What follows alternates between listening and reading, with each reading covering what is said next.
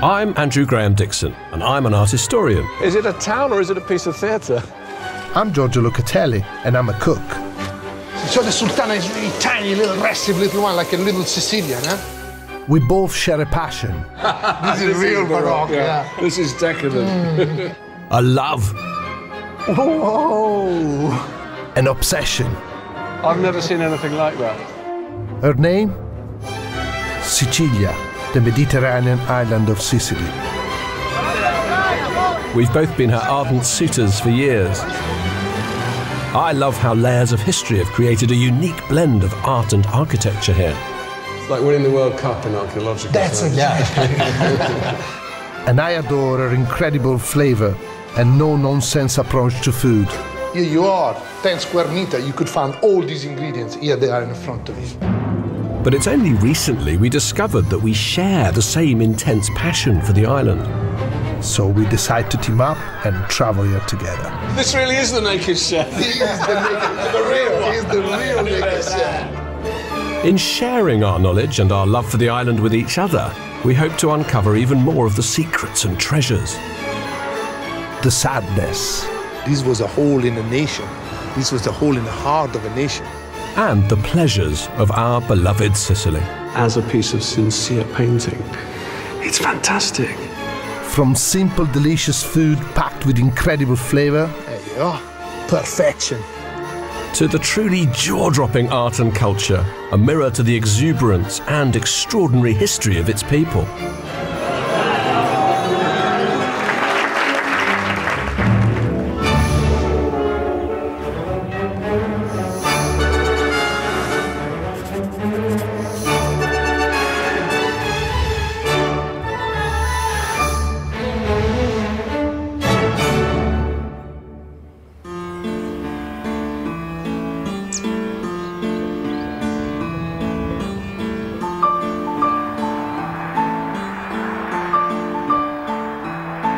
Our very first stop, a place called Porto Palo, on the southern coast of the island. For me, to come here, I have the same feeling that I'm going home to my village in northern Italy. I, at the moment, I feel like my heart is beating, and you know that. Do you know what I mean? It's a restaurant on the beach owned by my good friend Vittorio. It may not look like much, but it's my favorite spot in all of Sicily. And the place I head first every time I come here. It's an annual pilgrimage to remind me what real, honest food is all about Sicilian style. I hope Andrew likes it. A beautiful place. Yeah. A shack by the seaside, it looks like, Bang. That's what he was when he started. Vittorio! Dov'è il cinghiale, oh? Vittorio! The dove cavolo sei? Dov'è che è? Dov'è il cinghiale, oh? Ah! Vittorio, vieni qua a salutarci. How are you? Come state? Questo è Andrew, Andrew, il mio amico Andrew. Eh, stasera beviamo. Vittorio. Piacere. Now we're gonna drink it. He says he's preparing for you, man. He's been preparing for you. We're gonna go. We're gonna go and get some fish to have dinner tonight. Per tonight. vedere a che ora dobbiamo andare. E a che ora dobbiamo andare? Sì, sono due barche. E a che ora?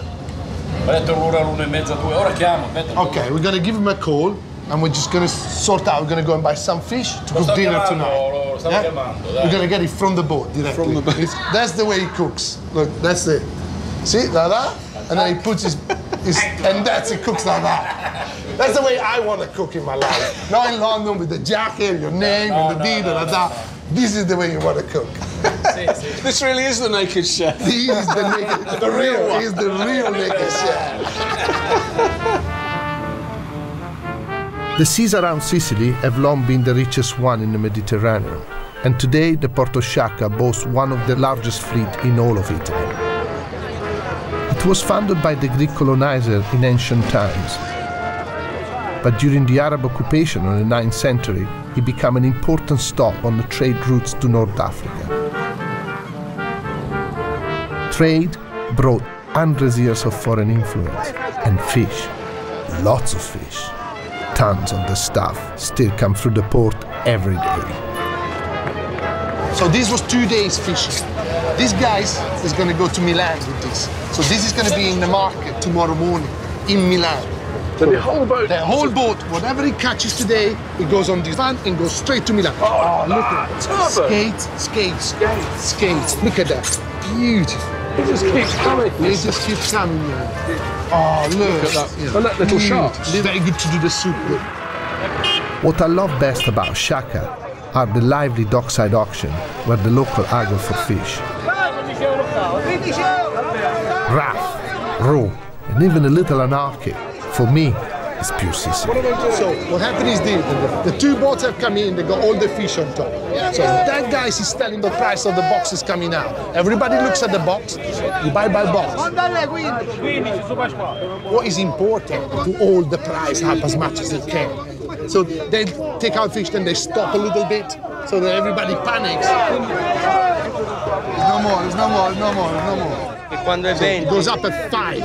So 40, 45, 50. So you're saying it's 50 euros? 50 euro for that box of crate that of box. scampi. Scampi. How beautiful now. But what I don't understand is could I come here Yeah, with yeah. 50 euros? Well, if he doesn't know, maybe he won't take your bid. Io ho fatto più per But if you're there with the money in your hands, he'll take it. If you've got your money in your hands, he'll take it. What I love about this typically Sicilian market is that although it's doing big business, a supplier to top restaurants all over the country, it's nothing fancy. It's salty, genuine, unpretentious. The fish is what's important here, not the window dressing. Stasera andremo a mangiare, va bene? That's what we're going to eat tonight. tromba la tiriamo fuori queste le mangiamo Can I just say, stasera, what ok? is that? Eh? Ah, The posso- tromba. Tromba. okay. Fantastici. We're going to eat this Okay. tonight. I'm not sure if I should be celebrating or, or I'm kind of worried about eating it. What the hell is that, Giorgio? I've never seen anything. I've never seen it as well.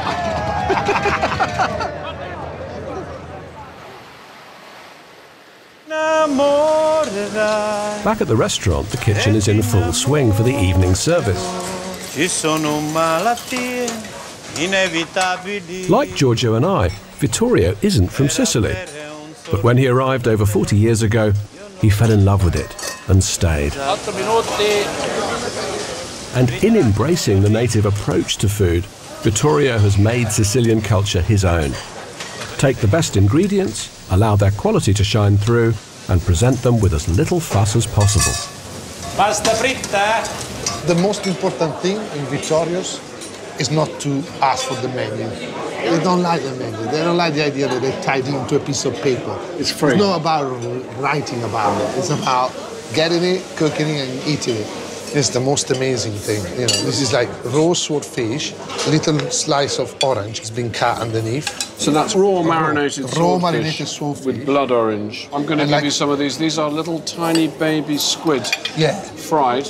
Again, this is what we saw today in the market. I mean, eh, all the stuff that we have here now has been fished today.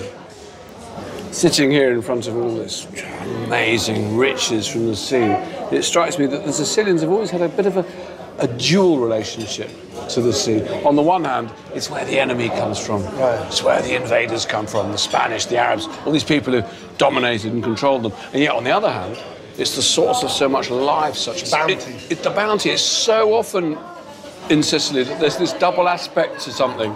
It's funny you say that because, like, especially like in a place like Sciacca, you have a division between the town. All the houses that you could see from the port, those one is where the fisherman lives, facing the sea, and they speak one dialect. The people, the other side of the Corso, you know, they are the people who works the land. The people who works the land says that the people of the sea are stupid because you just go out, you put down the net, whatever comes up, you take back. Us, we are clever.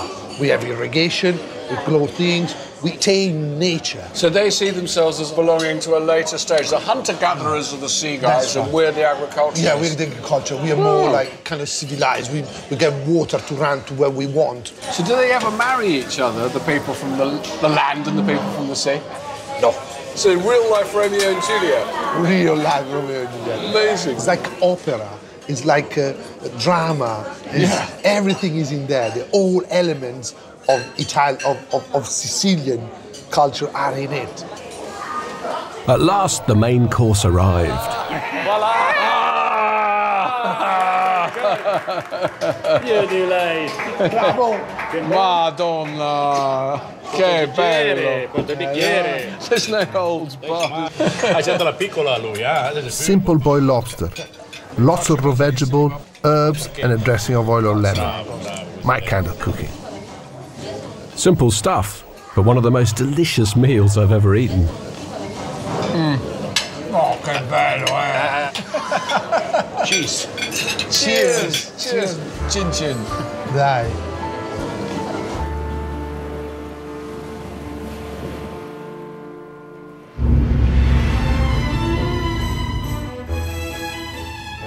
What I love most about Sicily is how diverse and rich in culture it is. Every old town is like a three course meal of history, beauty, and atmosphere. Just as delicious as the food, just as heady as the local wines.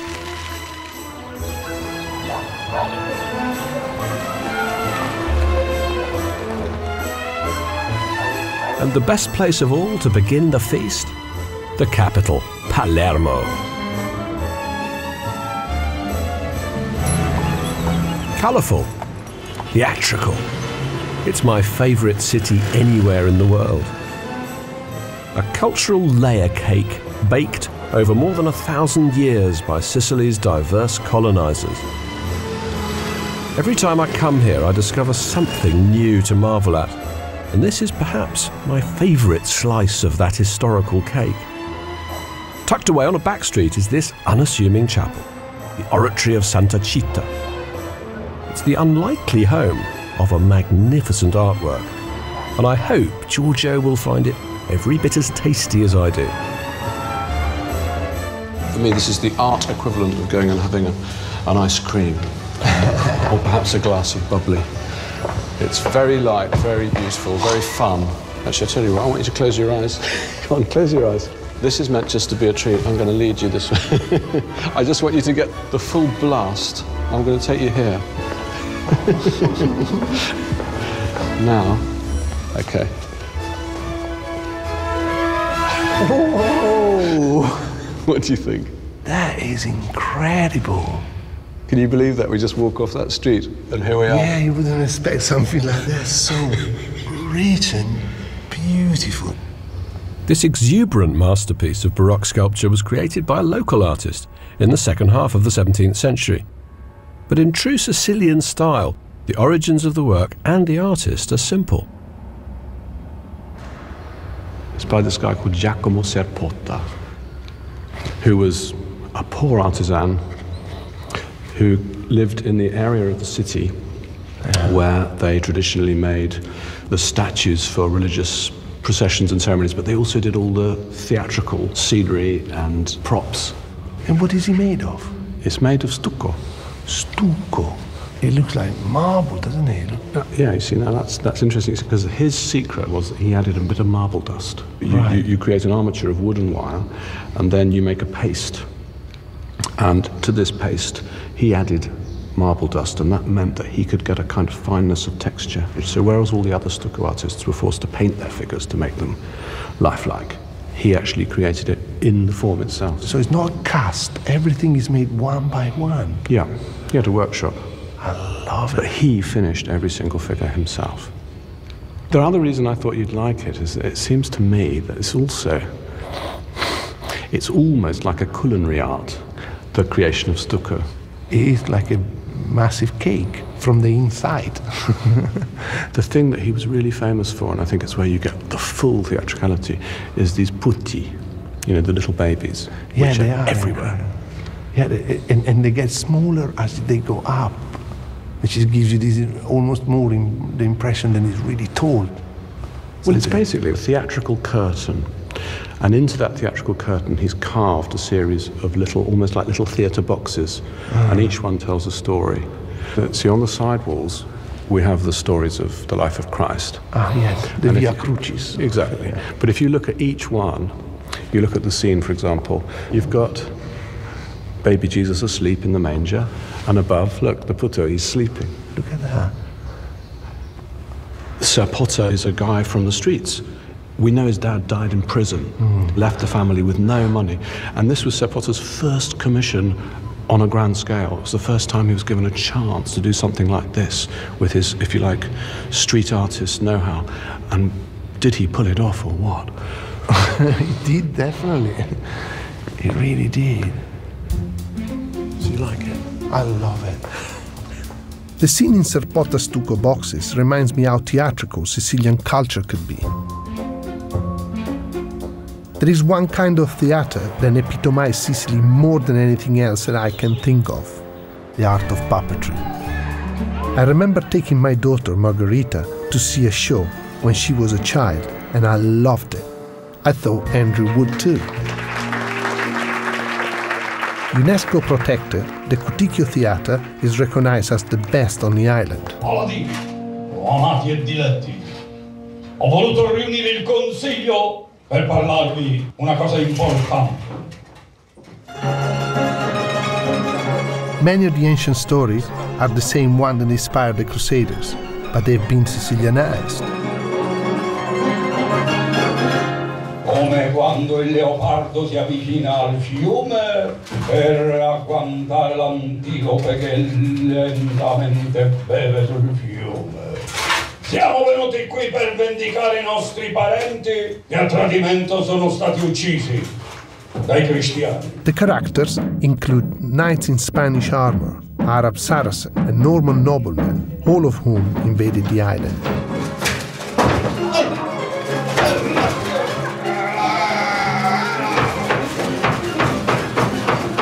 They are tales of vendetta, passion, and brutal conflict. A reminder that this island was born as much out of blood as sunshine.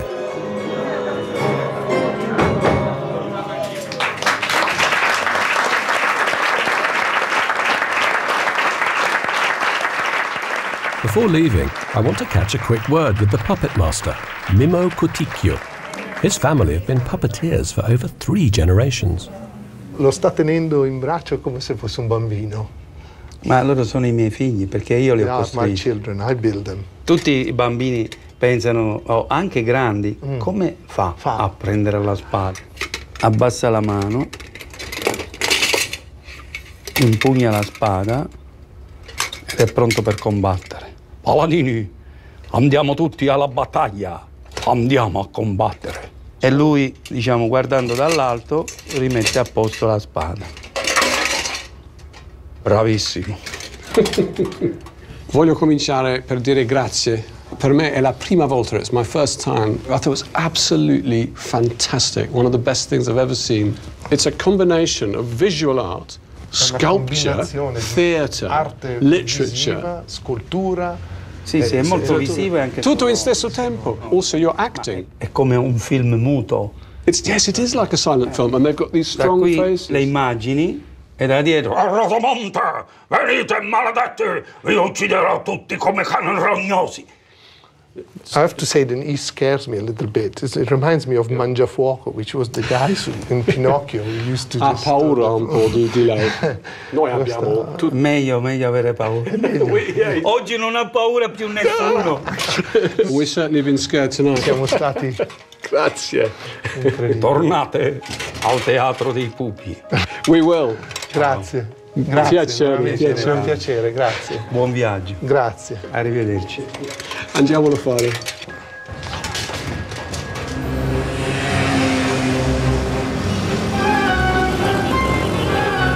Palermo became the capital of Sicily in the year 902, when Muslim Arab colonizers first consolidated their grip on the island. They say it was one of the most beautiful cities in Europe. I think they said the three great cities of the time were Cordoba, Damascus, and, and Palermo. And they said that in Palermo they had a thousand mosques.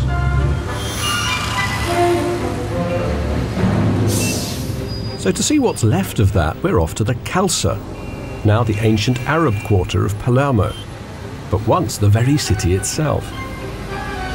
To get there, we've got to brave the very modern traffic. There's so little left of the Arab city. I mean, we really have to scratch quite deep to get any traces of. But if you look hard enough, they are there. They love their horses, don't they? and that's an Arab influence. They- They're obsessed with horses in Sicily.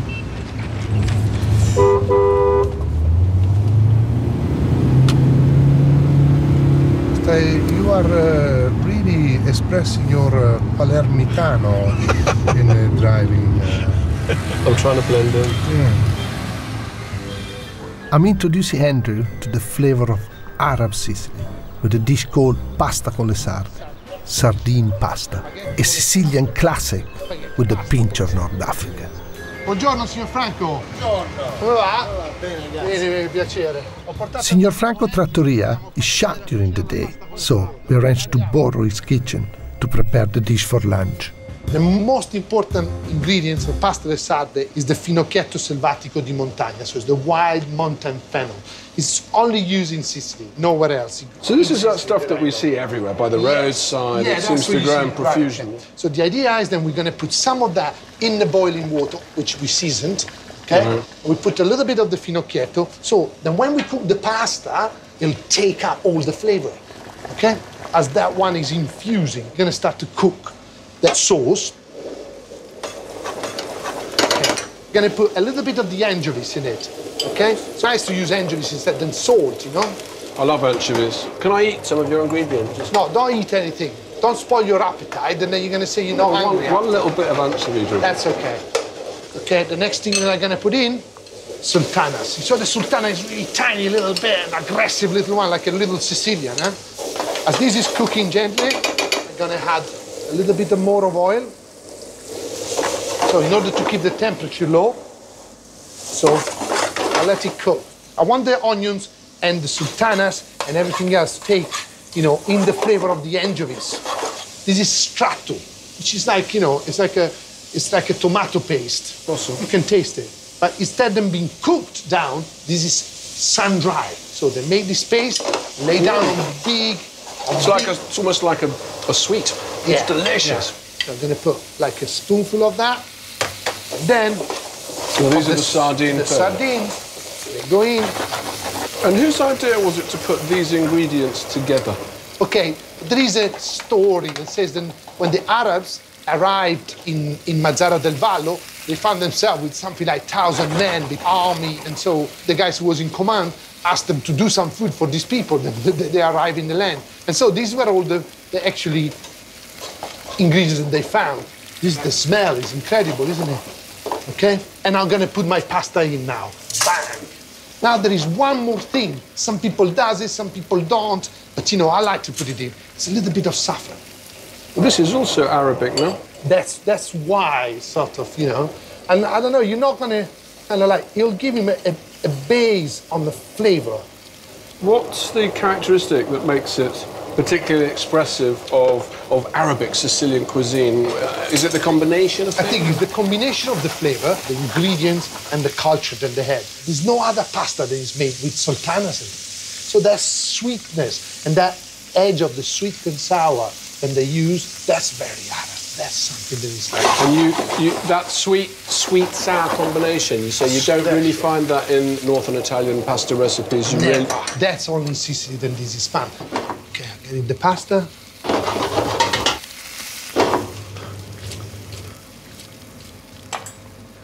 Really nice. Okay, we have to wait. There's one more very important thing to do now, which is la mollica. Breadcrumbs and olive oil give you that little extra flavor coming. Okay, we should go.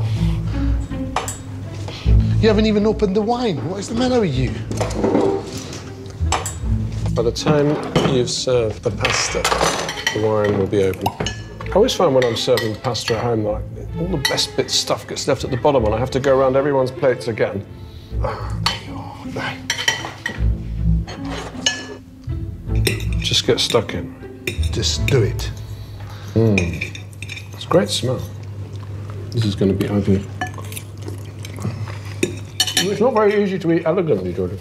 No, this is not meant to. Not elegant people eat this. This is meant to be by the workers, the people in the port, hmm. people you know, people who can only afford sardines, sardines. Hmm. Yeah. Almost my favourite plate of pasta that I ever ate.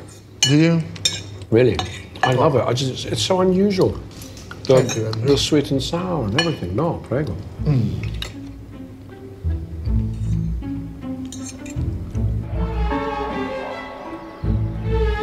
Well, after a lunch like that, it only seems right to take Giorgio to see one of the few remaining Arabic buildings in Palermo. A palace called the Ziza. Built in the 12th century, it comes from the Arabic word El Aziz, magnificent. Although it was commissioned by a Norman king, William I, it's in the Arabic tradition. The architects who designed it were instructed to create a pleasure palace which indulged the king's passion for hunting and women. This this honeycomb vaulting. That's very. It really is impressive, isn't It's it? very Arabic. You see it in the, in the Alhambra, and also these tiles are like Islamic tiles. That's right. Like, this is actually a palace built for a Norman king, but they say that although he was actually a Christian, he lived here like a sultan. He had five wives. That's good. You know. I love this.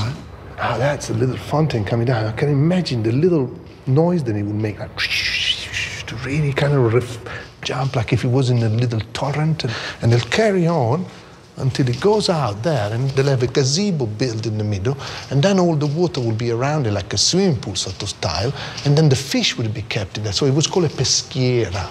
So when they want to fish for lunch, out the fish comes, and off it goes on the table. So this decoration keeps the palace cool, creates this sort of sense almost of living in an indoor garden, but you've also got the added benefit of fresh of fish. fresh fish. I mean, you had to think about the Arabs and they introduced the irrigation, so the use of water, the, they were masterful on getting the water where they wanted. And, you know, water inside the building, that's a typical thing of the Arabs. The Arabs always have fountain inside. I sort of think of this space as a kind of microcosm of what happens to Arab culture after the Arabs have gone. Yes. It still stays embedded in the system.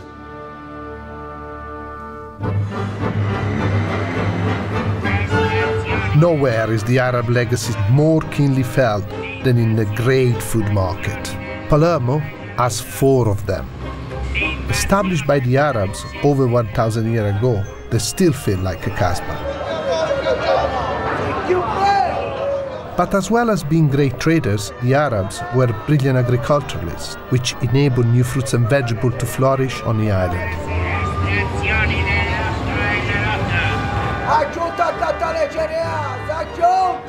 This is the most famous of Palermo's markets, the Vucceria. The name literally means habab, in reference to all the shouting that goes on in here. I want to buy ingredients for dinner tonight, but I haven't decided what to cook. So, like any Sicilian, we go for the freshest, the tastiest option. Buongiorno. The fish seller insists that the sardines are the best. So, even though we had them yesterday, they're back on the menu tonight. Anche se un po' più di mezzo chilo va bene, eh. Va bene mezzo Sì, no, anche un po' di più magari. eh, And Andrew loves them, so we'll be happy. Look at the beautiful color. They're like silver, aren't they? Yes, he's gonna clean them for us. Okay, so that's what he does. He takes the heads off. It's seven steps. Okay, he picks the sardine up. Look, and one, heads off, down. It's just a hand. He's not even looking what he's doing. He just feels it with his fingers. You see? He feels the bone, and bone the bones comes off. See? Here you go. One, two, three, four, five, six, seven. Done. I'll tell you the tragedy, Giorgio. is that When I do this at home, quando io faccio a casa, it takes me two, two minutes, due Once minuti a- per un pesce. per una sardina. What's really new about tonight's menu is caponata, a delicious vegetable relish you'll find in every house across Sicily. All I need is a few simple ingredients. una testa di sedano e poi magari due peperoni gialli e due rossi, due cipolle, magari quelle là bianche, quelle là bianche che sono bellissime. E poi abbiamo tutto, siamo a posto. All the ingredients are here. Look, it already looks like the recipe is done. We don't need a recipe, isn't it?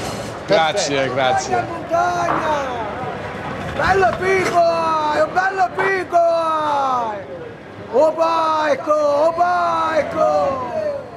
Che bello! All this food has given us an appetite for art. The Vucceria market was immortalised in a painting by Sicily's most celebrated modern artist, Renato Guttuso. Painted from memory in 1974, when Guttuso was living in Rome, it captures all the colour and the detail of the real market. I think it's a picture that appeals to all the senses, isn't it? It does. The style is sort of, as it were, a piece of the past that's frozen. It's like a time machine. Here he is, painting in a kind of ancient folkloric style in the 1970s, 10 years before his death.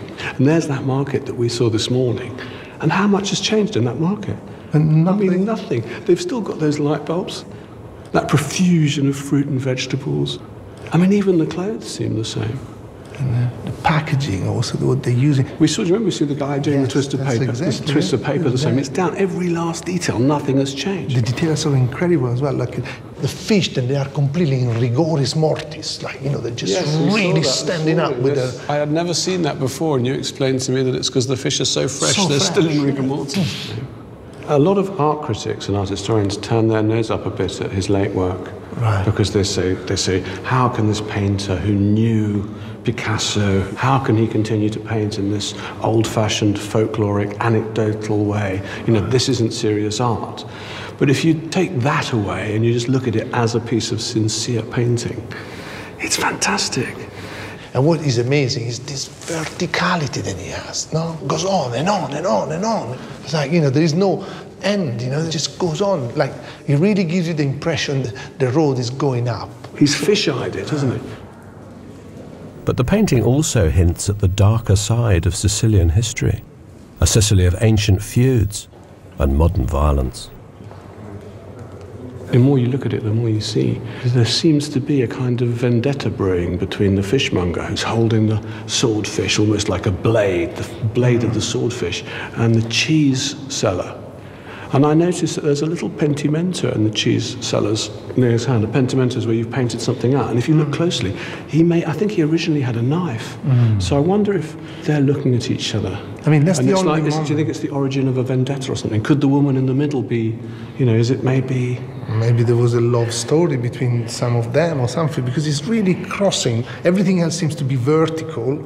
Yeah. Okay. Well, this is the only moment that you have something going horizontal there. You know that that look between themselves and the two, because you don't know what the woman is doing or who is looking at. Obviously, she's walking out with this big bag in her hand. I think Guttuso actually said that the, the, the, the line that connects those guys' eyes, he called it the line of death. And the line that goes up through the centre of the picture is the line of life. And between them, they make a cross. It's so sort of visceral, isn't it? It's so Sicily. And there's a secret story going on as well. Mm. I cannot think about any other picture than just fulfill me more than this one. Obviously, it's about food, and, and, and it, you know, my life almost is edible. my life is all about food, and so this is like this something is jumping at you. It's just the richness of that and the vibrancy of the color and the, you know the vegetable. That you almost smell it. I think this is a picture you'd like for your personal collection, isn't it? I would oh, love to have this in my collection.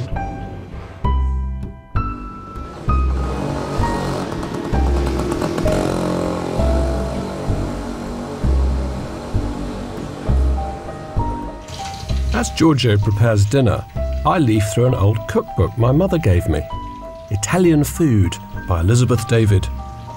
I've always loved the book for its graphic, vivid illustrations, sketched, in fact, by the painter of the Vucciria, Renato Guttuso.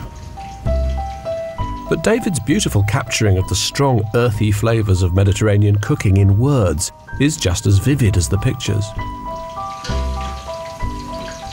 David was the first writer to introduce a war weary British public to the gutsy flavours of Italian cooking back in the 1950s. And she even includes a recipe for caponata, the Sicilian dish Giorgio's preparing. First time that I ate caponata, I was in the army, and there was these Sicilian guys, and he went home to Sicily, and he come back, and he come back with this jar of caponata that his mom made, and he brought them in, got this bread, and we just put this caponata on top of the bread, and we ate it like that, and I thought, like, wow, this was like blow me completely away.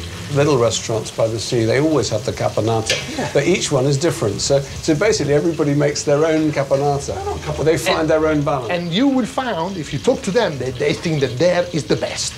And this is so beautiful. so whose are we making now? Are we making yours? We're we making your caponata. Okay? Oh, I see. So here is the base.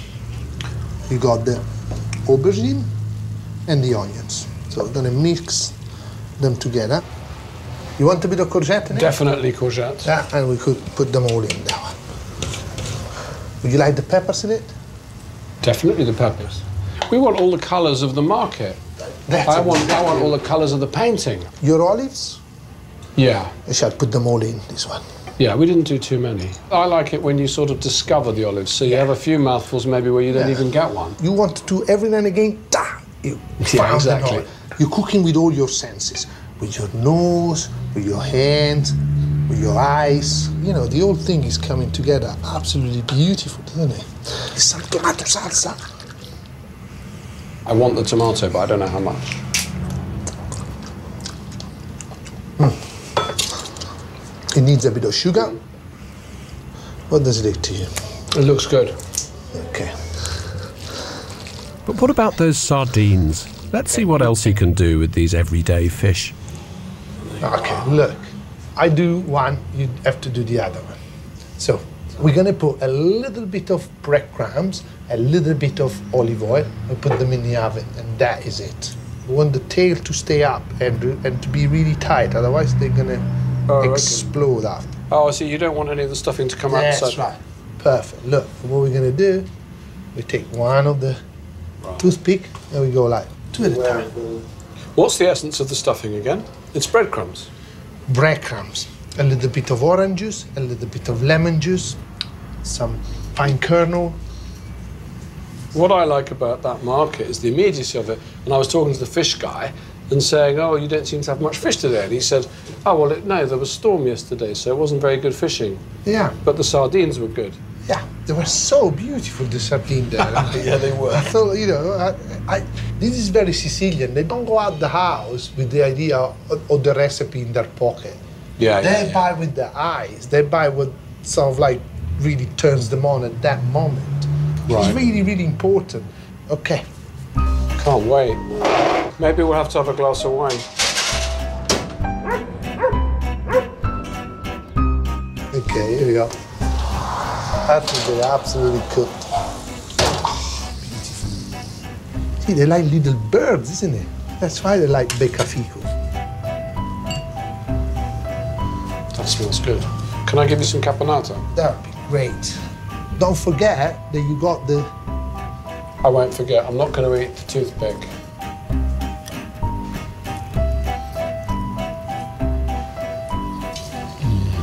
the nice. Mmm, it goes well with the caponata, man. Hmm. That's nice. What I like about that is that for me is the whole market in a plate. And here we've just chosen the nicest fish that they had that day. But coming back to Elizabeth David, I sort of think, okay, an English woman, when, when was she doing this? 1950s?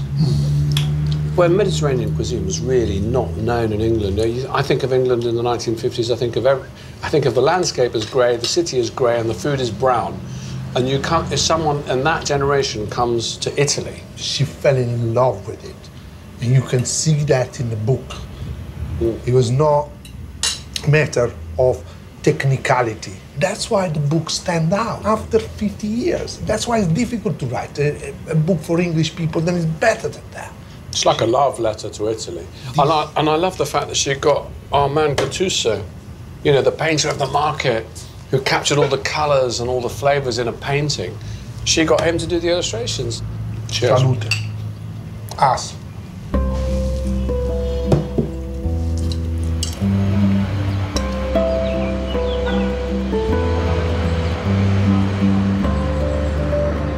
Sicily's had many rulers over the years, and in 1072, after two centuries, the Arabs surrendered control of Palermo to a new colonial power. The Normans were already ruling much of Europe, and soon the whole island was under their control. In 1130, the son of the first Norman ruler of Sicily, Roger II, crowned himself king. And I want to show Giorgio his personal place of worship, the Palatine Chapel.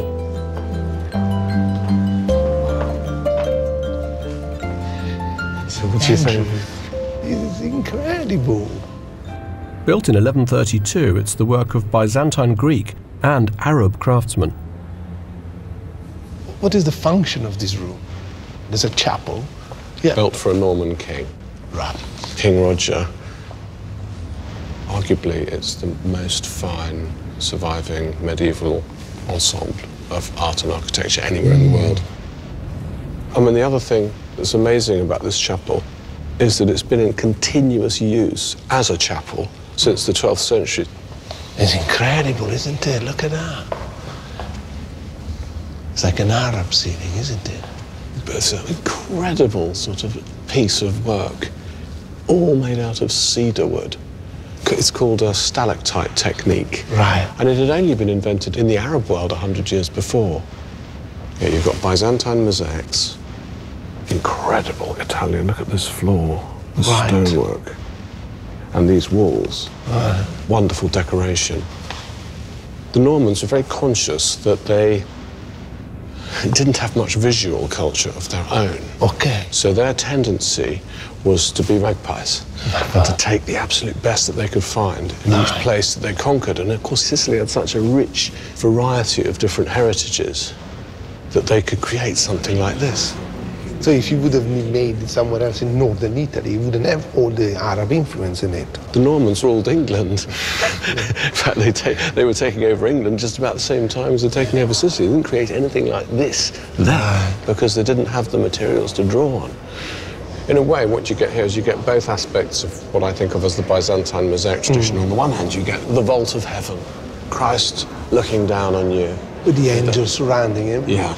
But then the other side of it is this storytelling tradition ah. that has a huge influence on Italian fresco tradition. Yeah. The nativity, the baptize of Christ. Isn't it beautiful, the baptism? It's I so love the way they do the water.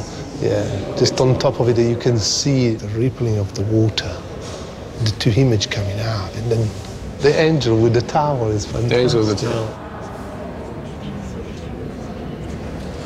Well, I think this bit is truly stunning, isn't it? I think when you're here, you can feel very much how this church, if you like, or this chapel pulls in two different directions. At the mm. far end, you you feel under the eye of God. But at this end, where Roger would have sat enthroned, with Christ's power, as it were, sort of being beamed down directly onto his head, you feel that this space is very much an assertion of kingship. Divine right to rule, Yeah. But what I love, I mean, just look at this. the quality of Isn't that fantastic? In the Islamic world, they weren't allowed to express God through the figure.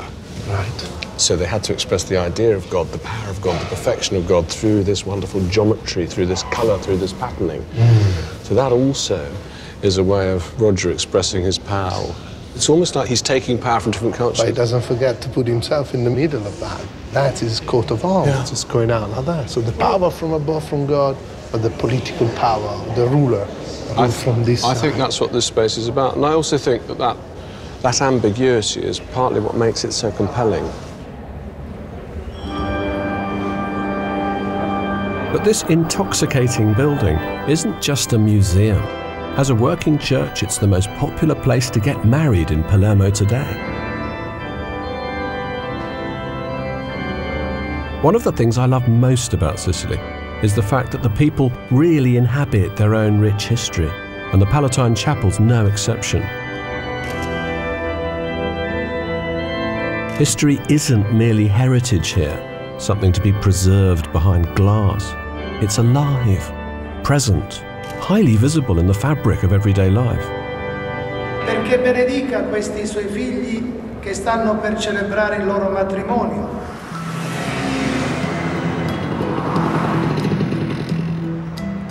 But the greatest threat to this sense of living history in recent times is also quintessentially Sicilian the mafia. In the early 60s, the mafia infiltrated the city council and managed to have many of Palermo's great historic buildings demolished. Why? To replace them with shoddy concrete tower blocks as way of launder their drug money in a catastrophe that some call the sack of Palermo.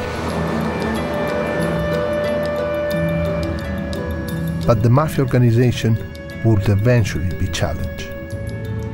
In the 1980s, a Palermitan judge called Giovanni Falcone began investigating the Sicilian crime network. He wasn't prepared to be bought, so the mafia had him murdered on the motorway that runs into Palermo. The date of the murder was the 23rd of May 1992. It is imprinted in the memory of every Italian. The spot where Falcone, his wife, and the bodyguards were killed near the suburb of Capaci is marked with a memorial. For us Italian, it's almost a sacred place. You can see the place. There you are. So clear in the front of you. Can you see that? Yeah. See, they have a little space to stop because people wants to stop here. People ring as well as they go by They mark it with the horn. with the horn. eh? People still remember. People will never that. It was a tragedy.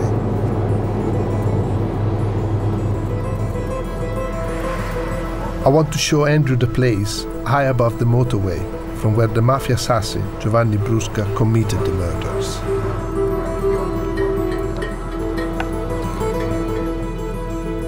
Falcone had been working in Rome and flew in to spend the weekend in Palermo. He was driving from the airport when the murders happened.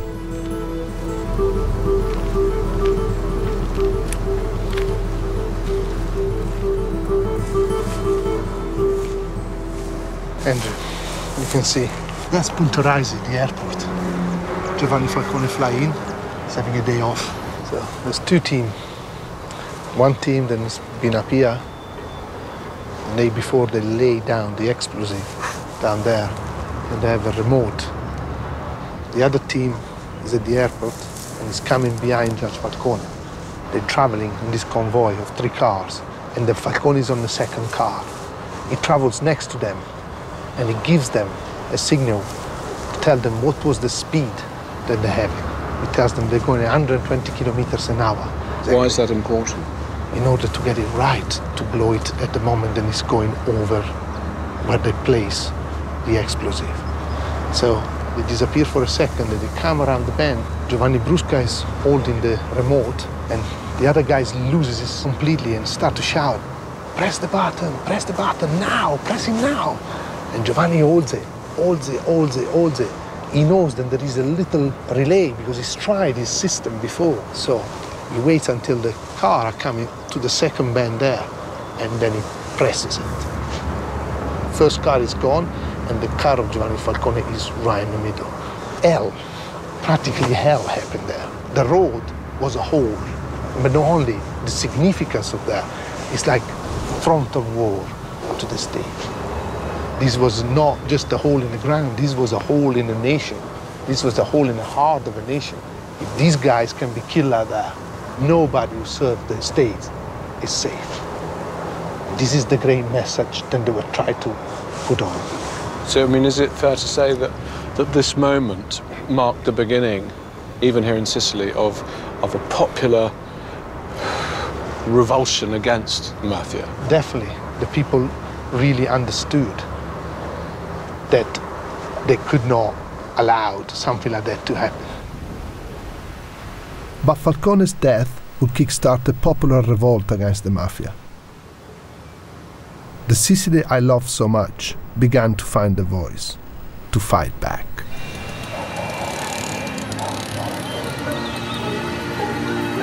In 2004, the Addiopizzo Collective was born in Palermo, an organization of business who refused to pay the pizzo, protection money to the mafia. Now, over 700 businesses across Sicily are part of the movement. And one of the first to take a stand was the owner of the Antica Focacceria, Vincenzo Conticello.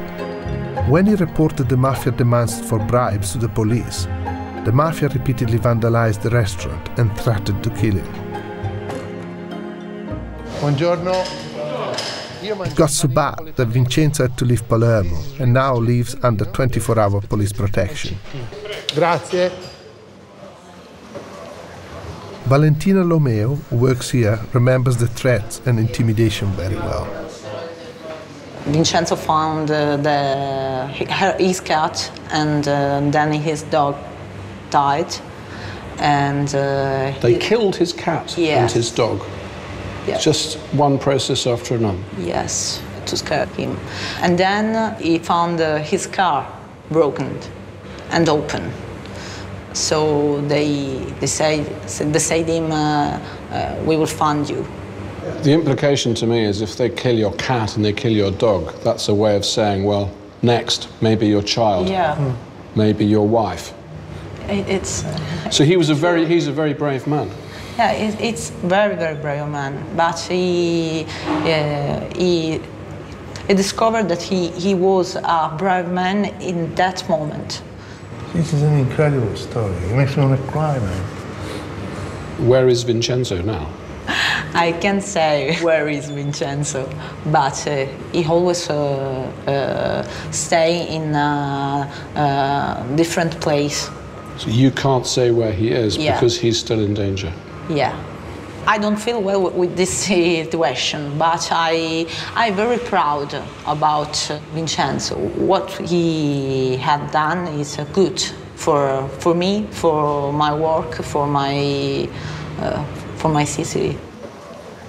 It's taken the efforts of Vincenzo and others like him to make it possible for a new generation of Sicilians to imagine a future free from the mafia, even if it's not yet a reality. Siamo arrivati al niente. Oh, buongiorno. Ciao. Ciao, piacere Giorgio. Ciao. Andrew. Laboratorio Saccardi are the most talked about artists in Palermo right now, with a growing international reputation. And they're not scared of offending the Cosa Nostra or Caravaggio. I like this. Look, this is the. It's my special subject is Caravaggio. So I'm interested in Caravaggio. special soggetto. But this is the Caravaggio that got stolen, I think, in Yes. the 60s by the mafia to order from the Oratory of San Lorenzo here. And this is Laboratorio Saccardi's sort of joke on this theft. so instead of, you know, the celebration of the Nativity, mafia art collection. I didn't know that it was possible to do satires on the mafia. Adesso no, nel senso che questa cosa si è liberata in un certo senso, però forse magari vent'anni fa poteva essere una cosa diffi- difficile anche pensare di parlare. Ma anche 20 anni fa Certo. era pericoloso. Era molto pericoloso, Sì, era infatti molto. la gente moriva. Andiamo a vedere cosa No, well, like state this. facendo.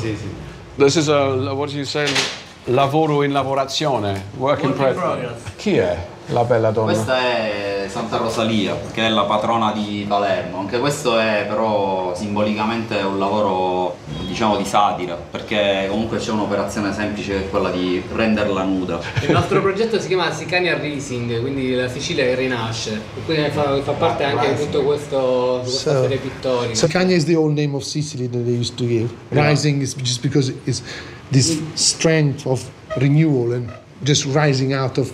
Rinasce da che cosa? Rinascita in tutto, nella libertà. Dal male al, dal- dal male al bene. ecco. Ma voi siete ottimistici, mi sembra. Sì, l'erba esce dal cemento, quindi comunque alla fine... A Palermo c'è molto di cemento. Ma anche tanta natura sotto. So there's a lot of grass as well. Underneath. underneath. It's been a real pleasure to meet you guys. Eh, vi ringraziamo per questo. È proprio una boccata Ciao. d'aria fresca. Speriamo. Eh? Eh, Bye. Bye bye. bye. Ciao.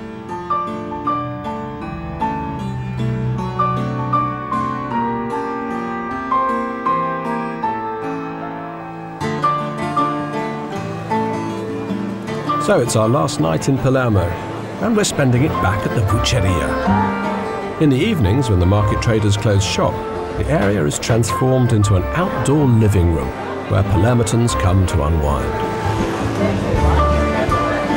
And I want to stop at the Taverna Azzurra. Drink.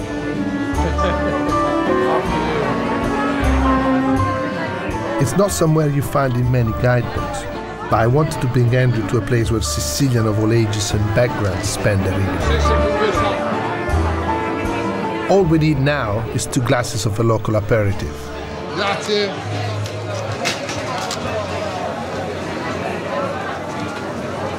So I was thinking that Palermo, this chaotic town, feels like a kind of microcosm of Sicily itself. It's like if you took all Sicily and squeezed it like an orange, that would be Palermo. Yeah, the juices. Yeah. Yeah. The other thing about this place is it seems to me that, you know, more and more you travel in the world, Yeah. the more everywhere becomes the same as everywhere else. It's almost like the experience of travel has been homogenized. Sanitized. Sanitized. You know, you go in the You're coach, right. you go to the museum, you go to the air-conditioned yeah, restaurant, yeah, yeah. you eat the same international cuisine. That's right. But you come to Sicily and it's different. They think that everybody should comply to their style of life. If you had to pick one thing out from this journey, what would be the one thing that stands out for you? Definitely the Vucciria was something that left me completely breathless. The market. Yeah, the Vucciria, the market and the painting. And the painting, the the one you wanted to take home. The two of them. I mean, Maybe the one day, really maybe one day. incredible piece of art, isn't it? Yeah. And what did you like best? I'd say two things. Two I'd say the, things. The Cuticchio Puppet Theatre. I was, I was blown away by it. And the other thing, which you're going to have to do again when we get back to London, if you can, with the ingredient, is the pasta con le sarde. it's really, I wasn't exaggerating, the best player pasta I ever had in my Ever. life. So, oh, seriously, I'm Let's not. I'm not that, man. So The we'll drink, hey, drink to Palermo. What have you chosen anyway that we're going to drink to Palermo? This is with? called sangue, which means blood. Blood. So this is the blood of Palermo. Cheers. Alla salute. Alla salute. Ah. it's an aperitif. You're playing a joke on me. You think I'm. That is, that's not Delicious. an aperitif. That's dynamite. That's... I did just feel another hagger on my chest.